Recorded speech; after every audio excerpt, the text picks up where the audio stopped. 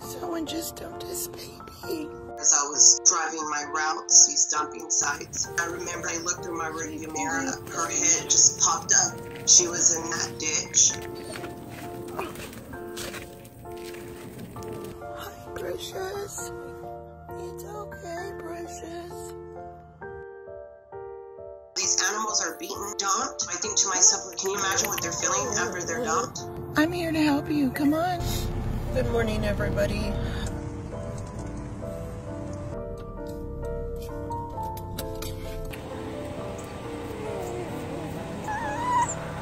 People will say, You're still going out there after nine years, Christmas, New Year's, I'm out there in the mornings. And it's like, Yeah, because nobody's going to do that. Nobody's going to drive down that dirt road in the far back. Hey, baby. Nobody's going to walk the railroad tracks. Nobody's going to look in the ditch where I know they're thrown. I think because the area is so rural and, and nobody's going to know, nobody's going to see, it's just easier for them.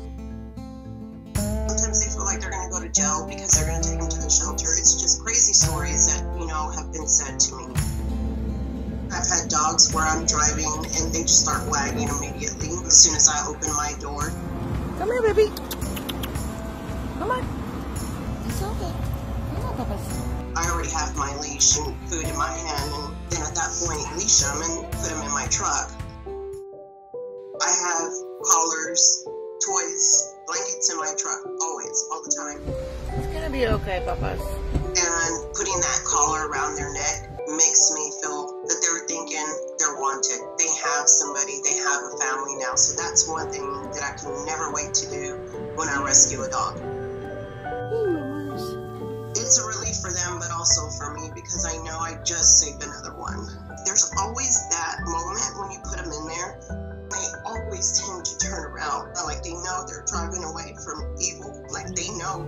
Are safe. It'll be okay, baby. That's the best moment of rescuing these dogs that are dumped. And then it's like we get to the vet, they're this whole different dog. Like they've known you forever. I think that's their way of telling you thank you. Thank you for stopping. Thank you for being my voice. Thank you for picking me up Okay. because so many cars passed me up and nobody stopped. I truly believe that there is a home for every dog out there.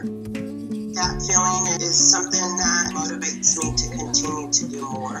Look at that wiggle butt. to go in there and finalize the adoption. These dogs are looking at you like this is it. And it's rewarding to be able to get them off the street, get them better, There we and go.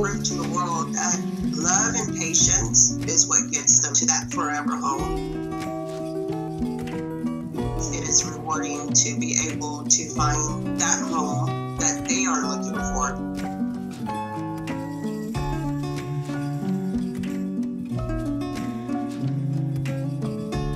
Si amas a los animales, suscríbete.